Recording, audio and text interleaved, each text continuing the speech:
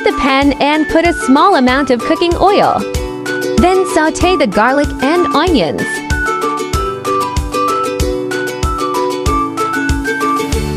Add the chopped chili for spices.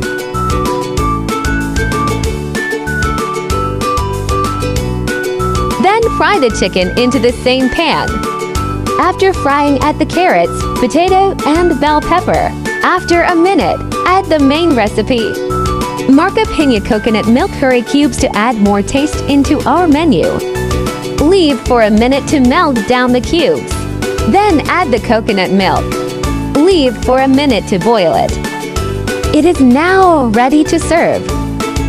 I also prepare cucumber, onion, and tomato for appetizer. I add the Marca Piña Sukang Puti to add more taste.